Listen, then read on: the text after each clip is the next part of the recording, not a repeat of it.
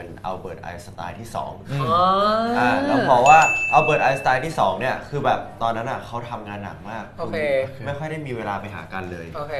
เออแล้วกันก็คือแบบงอนเพราะว่าตอนนั้นอะจริงๆกันก็ไม่ค่อยมีเวลามาหาตินเพราะว่ากันเนี่ยเป็น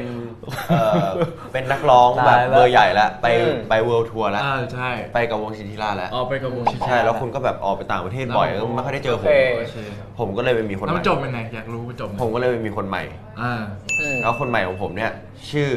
ชื่อ ทิวสนชื่อสนโอเคจบละก็คือรัก